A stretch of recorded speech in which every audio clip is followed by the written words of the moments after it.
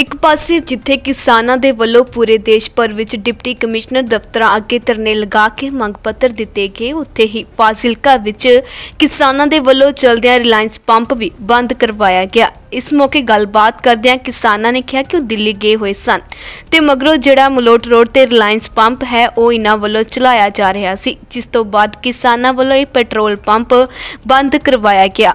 ਇਸ ਮੌਕੇ ਕਿਸਾਨਾਂ ਨੇ ਕੇਂਦਰ ਸਰਕਾਰ ਖਿਲਾਫ ਜੰਮ ਕੇ ਨਾਅਰੇਬਾਜ਼ੀ ਵੀ ਕੀਤੀ। ਜਰ ਲਾਈਸ ਆਪਾਂ ਬੰਦ ਕਰਾ ਗਿਆ ਇਹ ਪਹਿਲਾਂ ਖੁੱਲਿਆ ਹੋਇਆ ਸੀ ਕੀ ਕਾਰਨ ਸੀਗਾ? ਕਿਉਂ ਖੁੱਲਿਆ ਸਰ ਅਸੀਂ ਇਹਨਾਂ ਨੂੰ ਕਹਿ ਕੇ ਗਏ ਸੀ ਵੀ ਰਿਲਾਇੰਸ ਪੰਪ ਤੁਸੀਂ ਬੰਦ ਰੱਖਣਾ ਹੈ। ਅਸੀਂ ਕੱਲ ਹੀ ਪਹੁੰਚੇ ਹਾਂ ਦਿੱਲੀ ਤੋਂ।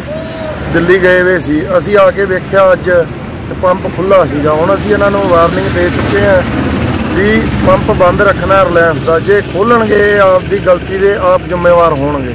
ਫਾਜ਼ਿਲਕਾ ਤੋਂ ਬਲਜੀਤ ਸਿੰਘ ਮੱਲੀ ਦੀ ਰਿਪੋਰਟ। ਫਗਵਾੜੇ ਸਿੰਘ ਟ੍ਰੋਨਿਕ ਨੇ ਮੋਬਾਈਲਾਂ ਦੀ ਦੁਨੀਆ ਵਿੱਚ ਕੀਤਾ ਧਮਾਕਾ। ਕੋਈ ਵੀ ਨਵਾਂ ਫੋਨ ਖਰੀਦੋ ਤੇ ਨਾਲ ਲੈ ਜਾਓ ਦੂਜਾ ਫੋਨ ਫ੍ਰੀ ਇੱਥੇ ਆਨਲਾਈਨ ਨਾਲੋਂ ਵੀ ਮਿਲ ਰਹੇ ਨੇ ਸਸਤੇ ਫੋਨ। ਸਾਂਝ ਟੀਵੀ ਦੇ ਦਰਸ਼ਕਾਂ ਲਈ ਨਿਕਲਣਗੇ ਕਈ ਵੱਡੇ ਇਨਾਮ। ਨਾਲ ਹੀ ਸੈਕੰਡ ਹੈਂਡ ਫੋਨ ਖਰੀਦੋ ਤੇ ਪਸੰਦ ਨਾ ਆਉਣ ਤੇ 7 ਦਿਨਾਂ ਵਿੱਚ ਵਾਪਸ ਕਰਕੇ ਨਵਾਂ ਲੈ ਜਾਓ।